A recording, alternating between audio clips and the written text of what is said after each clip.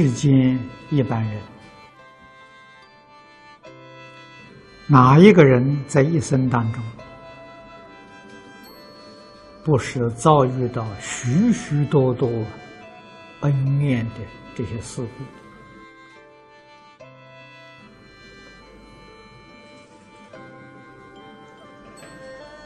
佛法里面跟我们说的八苦、怨憎会？啊、爱别离，这是古今中外。无不令人感叹的事情。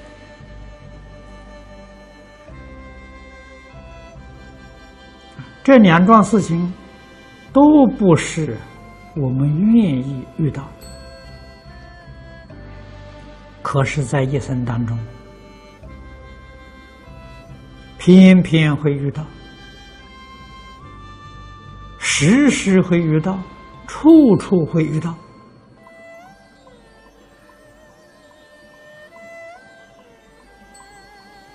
原因是什么呢？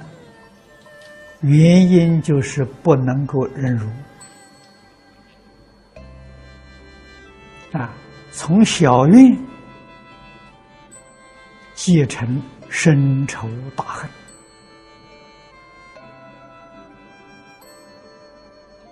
我们在文昌帝君阴之文一开端。文昌帝君叙说他过去报恩报怨的这些事情啊，惨不忍睹啊！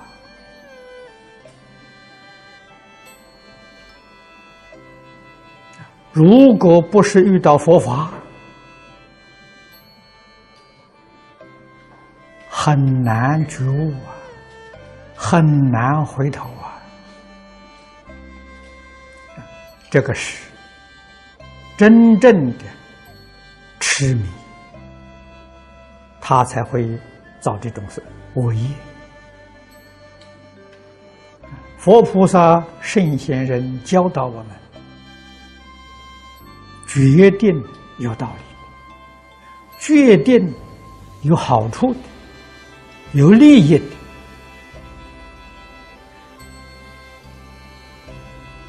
叫我们常常想着别人的好处，不要记别人的恶，常常念别人之恩，不要记别人的怨。这两句话很重要，你要能真正做到。生生世世享福，生生世世会得到许许多多人的爱戴帮助啊！可是偏偏有许多人呢，忍不过，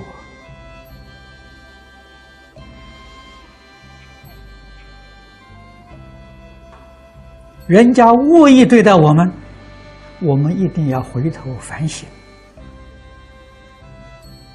啊，不要一昧的只是他的错处，不见得。他恶意对我，为什么不用恶意对别人？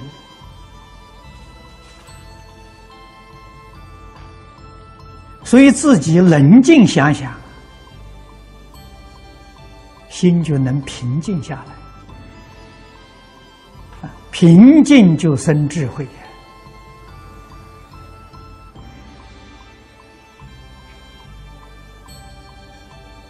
不是我们自己做的不好，就是言语说错了，无意当中得罪人，啊，人家对我们不好的态度，我们觉得那是应该的。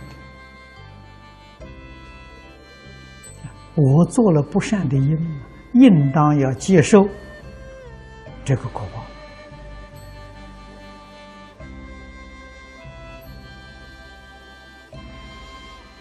事事都推到对方，都责怪别人，这是重大的过失。啊，纵然这一生没有跟人结怨，大概总是前生。我们学佛的人都相信有来生，有前世。那么这个冤我们承受，决定没有报复的，这个账到底清了，一笔勾销了。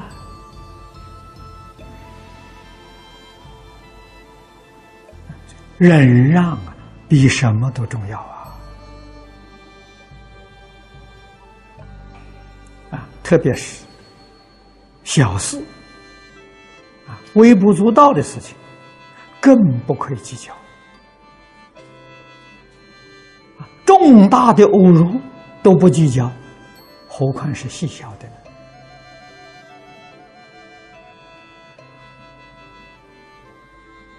一定要用智慧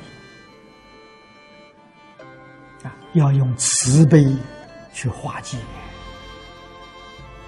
人没有不能感化的，不能感化人，是我们自己的德行功夫不够啊，我们的智慧不够啊。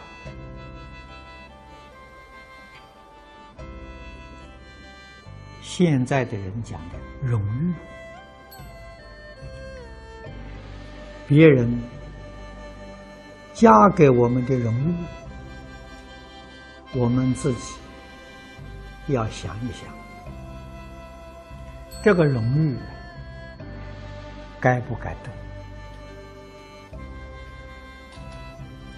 如果不应该得而得到的，决定不是好事情。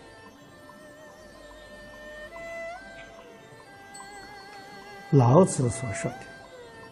佛兮祸所依，这个话讲的非常有道理。即使应该得的，也要尽量的谦虚，否则的话，也会惹来祸害。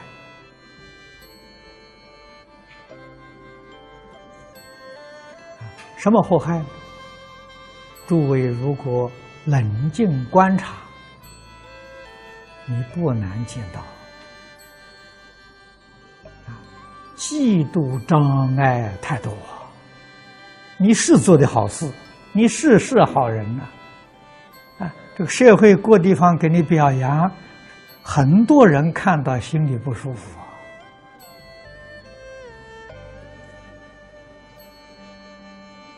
尤其是这个时代，古时候人性厚道，换一句话说，嫉妒的人少一点，不是没有。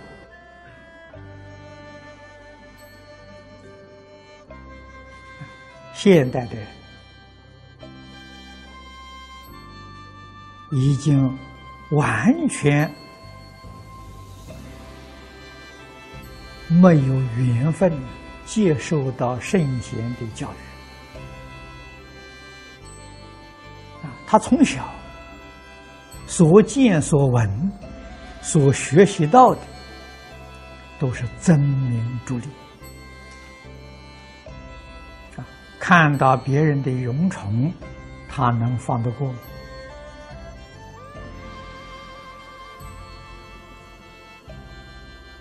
所以在现在这个世界，做好事很难很难。做好事，受人回报，受人侮辱，哎，他还可以存在；做好事，常常受人赞扬，恐怕他就不能长久了啊，无论做什么好事，越是大的好事，姿势越要低。啊，越低越好。做好事呢，越不让人知道越好。感应篇给我们讲的，即阴德，阴德就是做好事，不必让人知道，让人知道的，已经不是好事。